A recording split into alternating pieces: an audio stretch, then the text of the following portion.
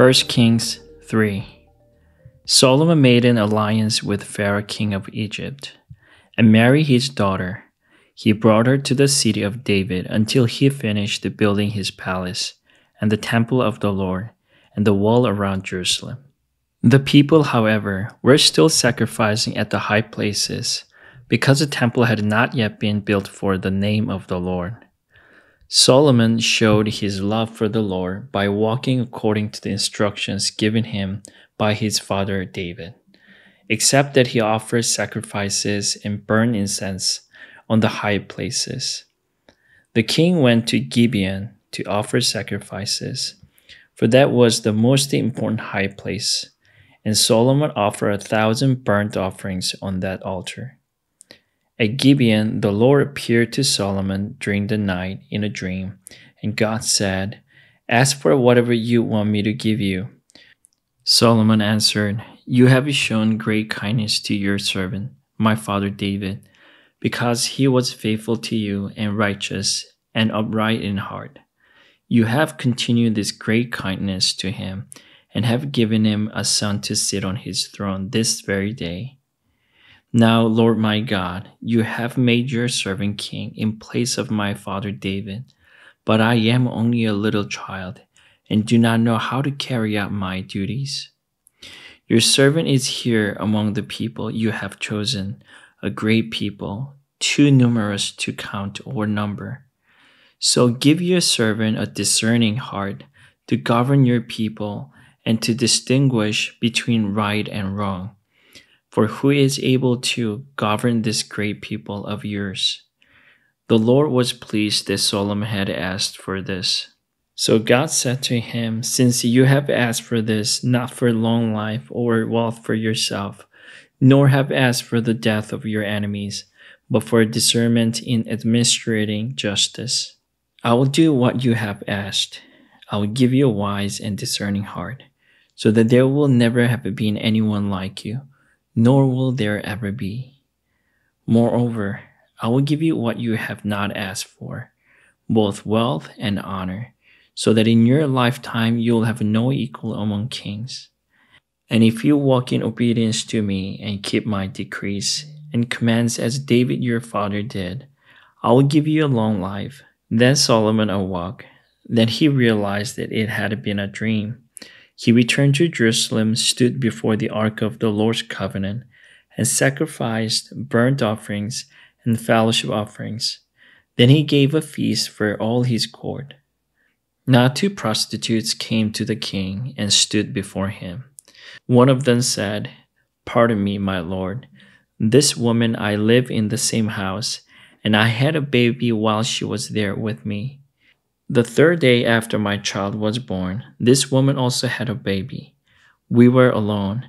There was no one in the house but the two of us. During the night, this woman's son died because she lay on him.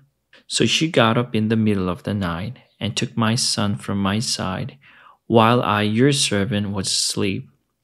She put him by her breast and put her dead son by my breast.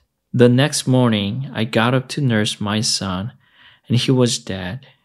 But when I looked at him closely in the morning light, I saw that it wasn't the son I had born.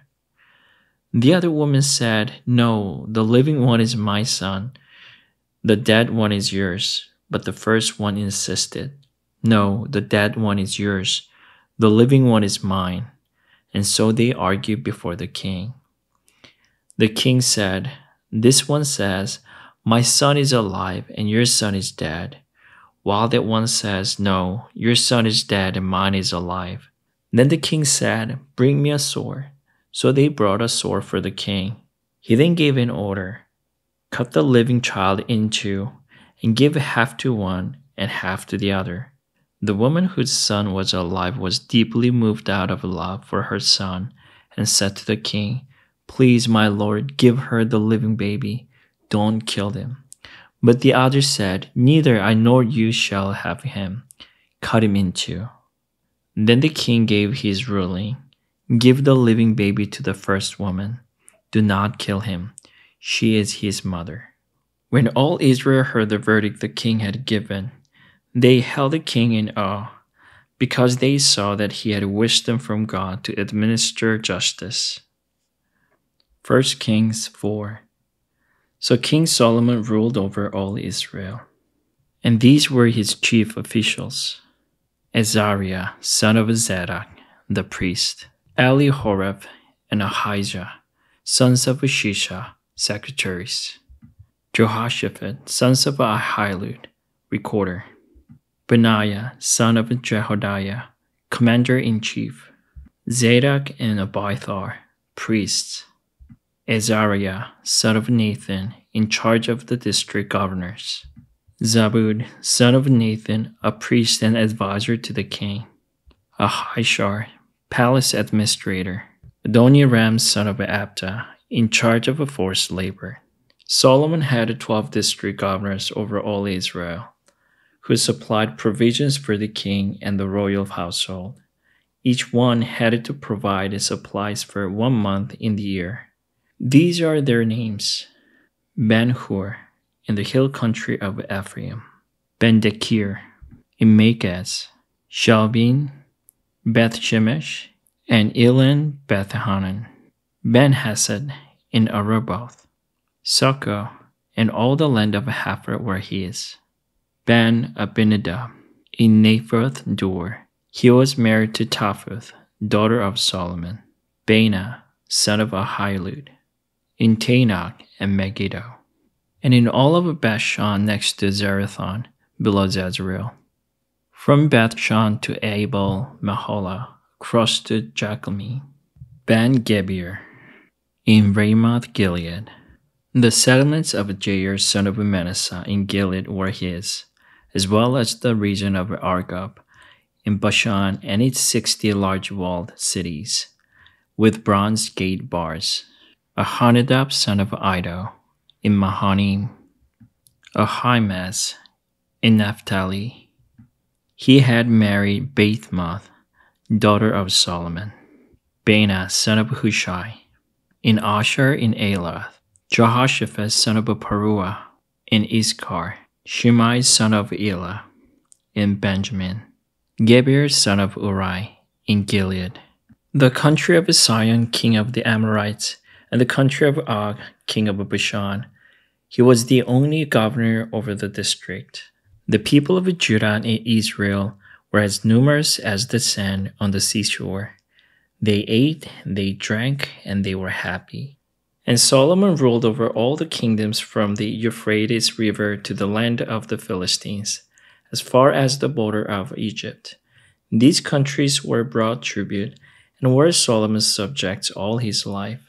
Solomon's daily provisions were 30 quarts of the finest flour and 60 quarts of meal, 10 head of a stall fat cattle, 20 of a pasture fat cattle, and a 100 sheep and goats, as well as deer, gazelles, roebucks, and choice fowl.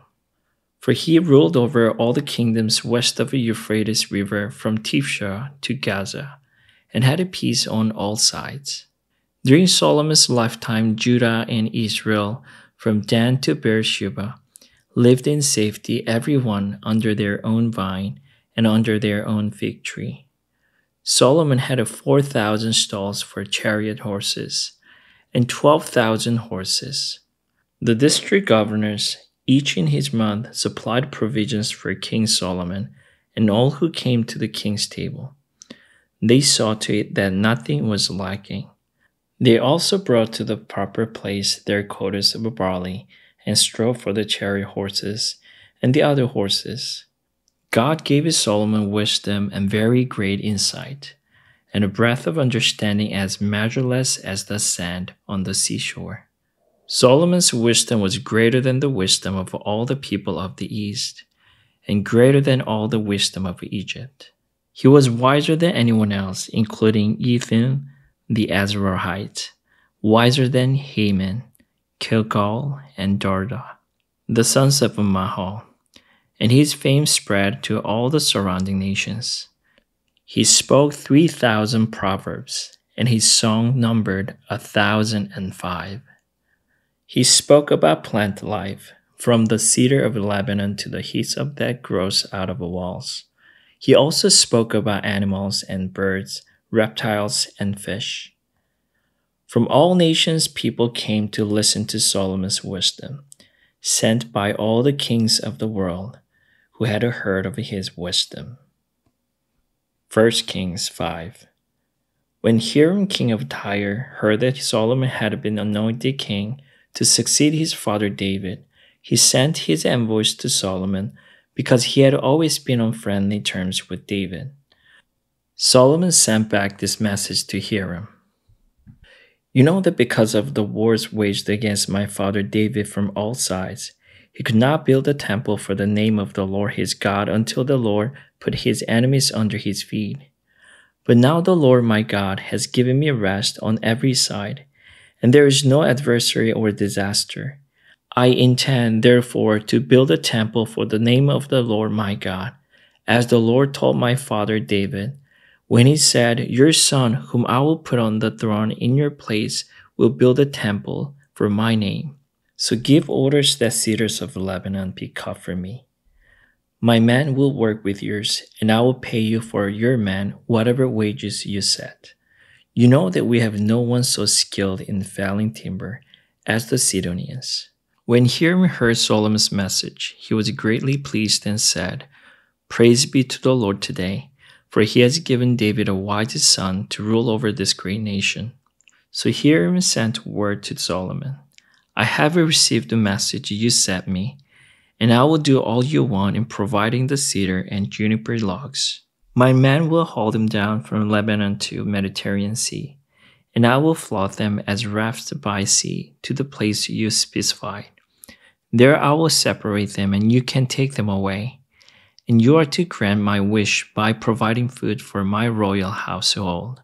In this way, Hiram kept Solomon supplied with all the cedar and juniper logs he wanted. And Solomon gave Hiram 20,000 cors of wheat as food for his household, in addition to 20,000 baths of pressed olive oil. Solomon continued to do this for Hiram year after year. The Lord gave Solomon wisdom just as he had promised him. There were peaceful relations between Hiram and Solomon, and the two of them made a treaty. King Solomon conscripted laborers from all Israel, 30,000 men. He sent them up to Lebanon in shift of 10,000 a month, so that they spent one month in Lebanon and two months at home Adoniram was in charge of the forced labor. Solomon had 70,000 carriers and 80,000 stonecutters in the hills, as well as 3,300 foremen who supervised the project and directed the workers. At the king's command, they removed from the quarry large blocks of a high grade stone to provide a foundation of dressed stone for the temple. The craftsmen of Solomon and Hiram, and workers from Byblos, cut and prepared the timber, and stone for the building of the temple. Amen.